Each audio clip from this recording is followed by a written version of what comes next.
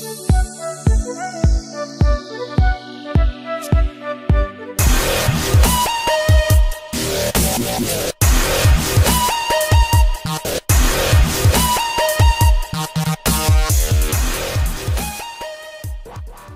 guys, what's up? Rajat here from VFX World. Welcome back to my channel.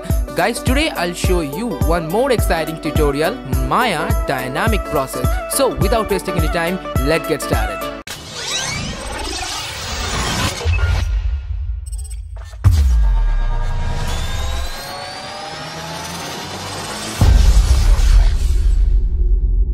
Okay, so now you're in Maya, which is 2016 version.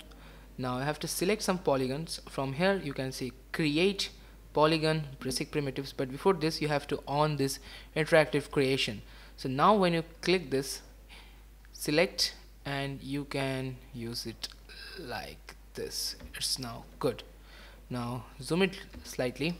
Select it. Sorry. Sorry select this. It's fine. Now press W on keyboard select this.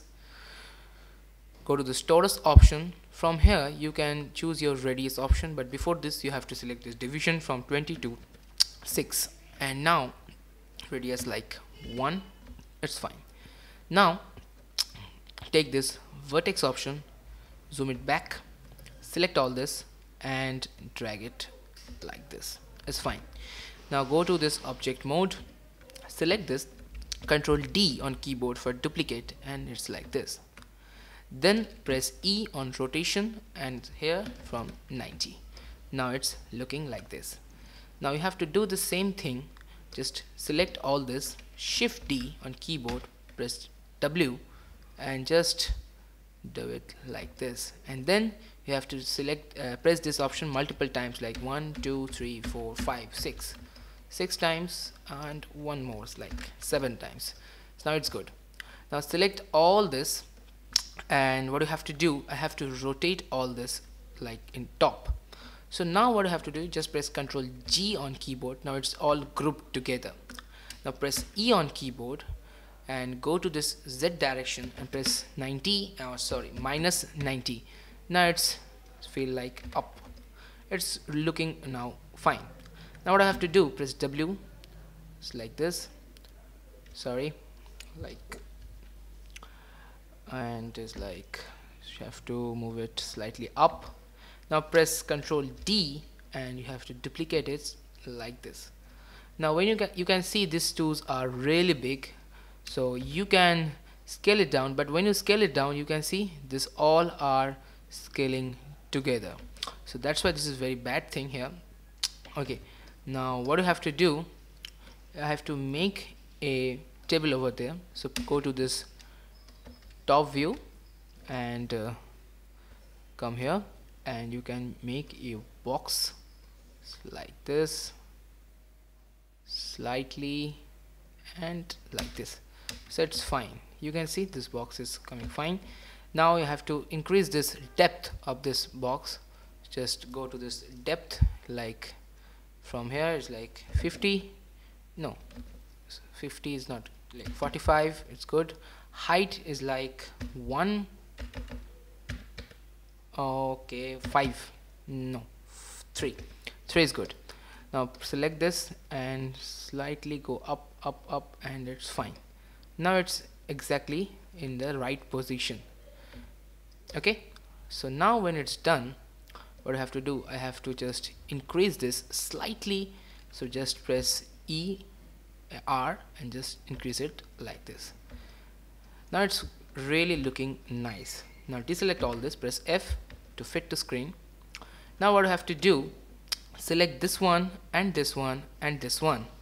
Shift and then you have to combine this.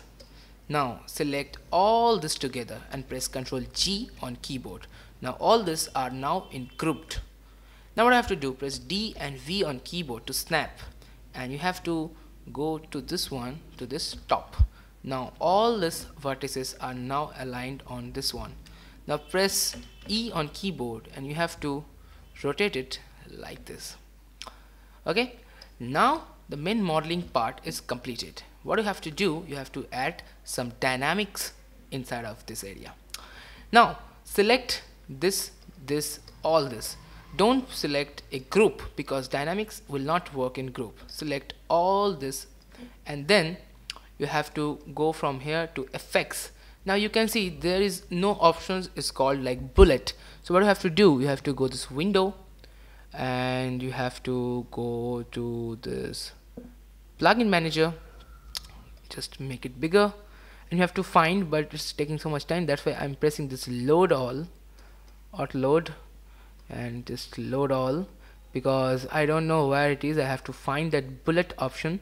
So now whenever I am starting this it will automatically load. Just press refresh one then close. Now you can see you have your bullet options over there. Now go to this bullet and you have to take all this to active rigid body. But don't click here. You have to click this option box option box. Now when you click this option box you can see these options here. First of all go edit and reset by default. Now go to this box and you have to select the auto compound mode and make sure this auto compound mode should on because all the shapes are different different. Now press apply and close. It will take some time. Whatever you are doing it will really take some time. So just pay, keep patience and when it, it will complete I'll get back to you. Okay. So now all this happening is done. Now when you play this before play just make this frame range like 700 and now the frame range is 700 now when you play you can see this is going really down. When you just play this here see this is going down. Now go to this first frame select this one and this one this one and this one and come here to this option and select this mass from 1 to 0 now when you play this you can see it's coming like this. But see it's feel like it's very like light weighted so that's why it's jumping like this. See? So now what you have to do you have to make some weights over there. So now select this one and add a mass over there. So just press this one and add some mass like 6 now when you play this you can see it's going down and it's feel little like it's heavier than the last time when I play this. Okay now I have to give some more details here. Go to this one this one and I have to go this mass and press this like 10 then what I have to do go to window and outliner and select this bullet solver. And what you have to do you have to make this gravity is like minus like uh, 80 is good.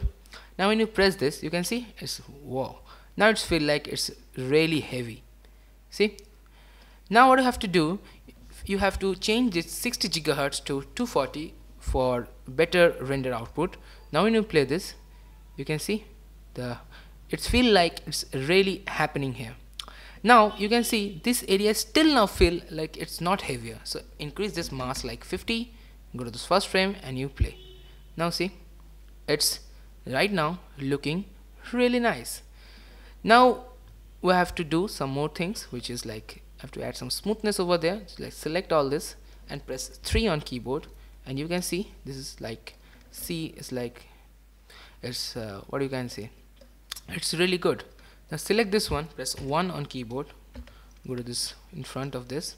And I have to add some multicuts over there. Press shift on keyboard and it's insert multicut edge.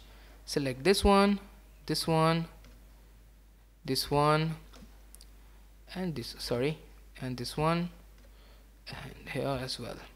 So now all is fine. Come here it's good. Now it's done. Press 3 on keyboard. Now see it's not blending. Now press F. That's good. Now press this play button. You can see this is really happening good. You can add so much gravities over there but make sure when you uh, will play this thing you have to make that everything is looking nice so just change some colors over there. Select this one. Go to here to object mode. Select object mode. Now select this one. Go to this attribute editor and you have to select so many things are here. This Lambert and the colors like white. Transparency is good. Diffuse is fine. Special effects is everything is fine. So now it's done. Now play this. You can see this is really happening well. So this is for it today. Hope you really enjoyed this tutorial and i will upload so many maya tutorials in future which will based on this kind of dynamics and modeling techniques. And if you have any query please let me know. And don't forget to press that subscribe button and please press that bell icon for the further notifications. So see you. Bye bye i will see you in my next tutorial